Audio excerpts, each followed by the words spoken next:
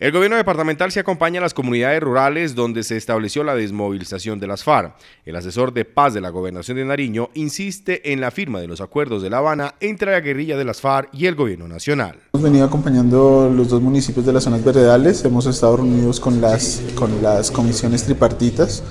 En la próxima semana, en esta semana, pues estaremos acompañando la zona veredal de Policarpia de Tumaco y eh, en escucha constante a las comunidades, a la ciudadanía de, sus inquietudes, de sus temores y de llegar con un mensaje esperanzador de que este puede ser un proceso que cambie eh, la historia del país y, y que nos dé la posibilidad de construir un territorio totalmente diferente a lo que hemos vivido en este conflicto armado. El asesor rechazó las acciones de atentados en contra de líderes sociales, las cuales se han presentado de manera continua en todo Nariño.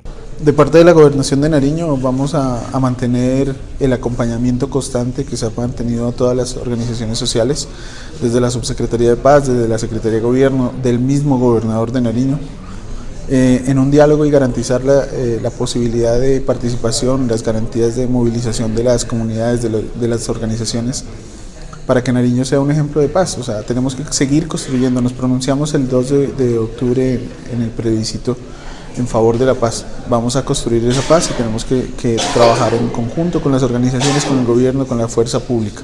Según el funcionario, existe mucha incertidumbre en la ciudadanía por la dilación del proceso de paz con las FARC y el inicio de las conversaciones con la guerrilla del ELN, que hace presencia activa en varios sectores de Nariño.